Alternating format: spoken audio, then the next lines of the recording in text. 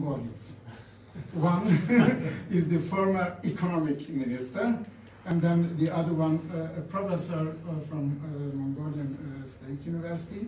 We have been all naked and touched upon the issues in a very naked way, no problems.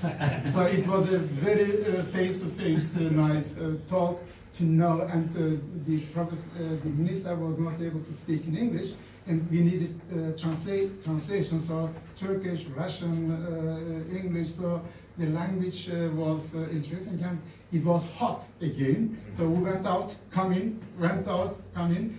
But uh, what is more important, I would say, uh, in academic terms, one of my former students, who is now general counsel in Edinburgh, Semih Lütfü, was in 1997 uh, as number two uh, in uh, Mongolia, uh, in the embassy, and the Turkish ambassador was often not there, and he, he made his first diplomatic experience there. He said, Hocam, uh, I'm the one who is dealing with all these diplomatic uh, uh, talks because nobody is there except me.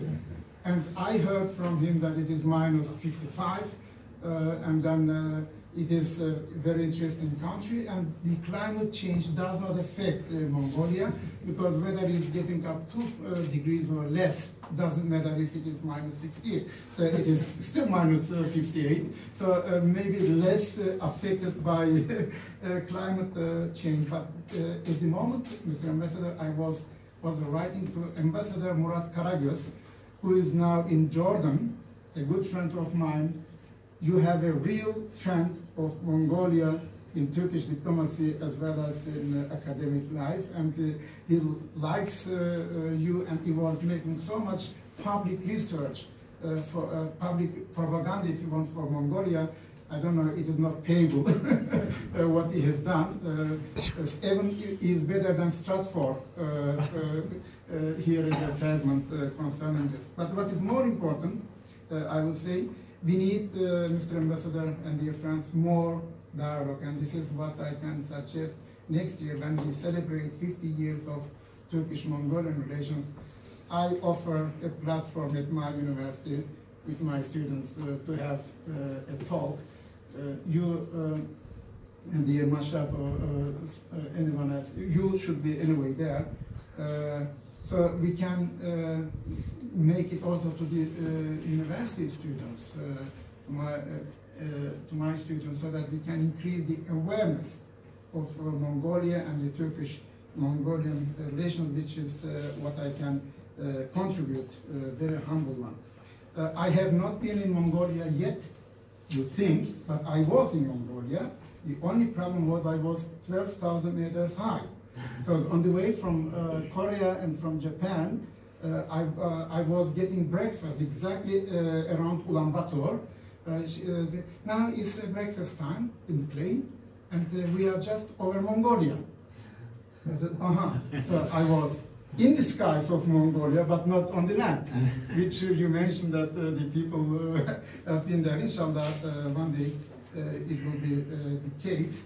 And uh, what is uh, one more uh, important, maybe I can go now uh, to my topic.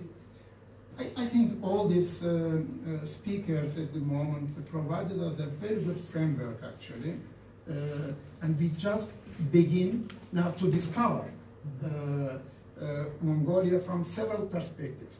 Tur- Turkish-Mongolian relations, uh, will speak more from the Asian perspective, and I will speak more uh, from the global uh, perspective uh, as well as I can. Uh, and I hope it will create some uh, questions in your brain and in the question and answer period, I will try to answer them. Um, I was, I'm also very happy to have a, a young researcher, Mr.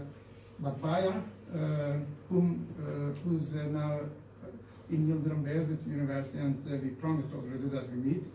And this is also important because we have to know how the uh, how do we perceive Mongolia and the region, as you mentioned, Eurasia, and how they perceive us. So this is uh, uh, two types of perceptions. From our perspective, when we look, it is getting bigger and bigger and wider. Eurasia, and